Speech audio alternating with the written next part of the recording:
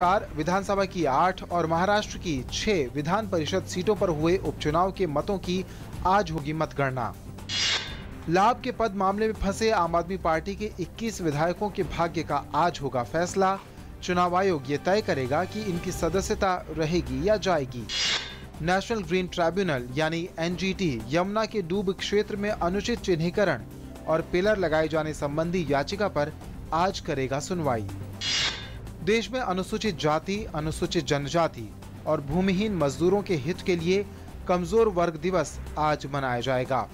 आज कई भूमिहीन मजदूरों को भूमि भी प्रदान की जाएगी।